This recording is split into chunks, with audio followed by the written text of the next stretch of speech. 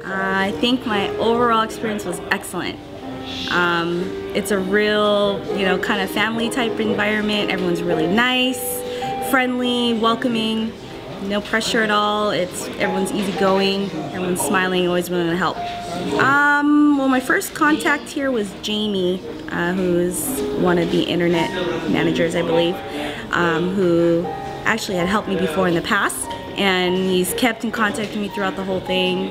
Um, updated me by sending me my um, my order number through Subaru, and then emailed me when the car was coming in, and then actually even before letting me know the car arrived, he sent me a email with the photo with the car coming off the truck. So I thought that was pretty cool. Um, well, this is actually my second car from this dealership. The first one I bought was an 08 and it was an STI and I've decided to trade it in for a 12. So um, came back because again the experience the first time was really good and this time was even better. So I'll probably keep coming back every so often to trade up.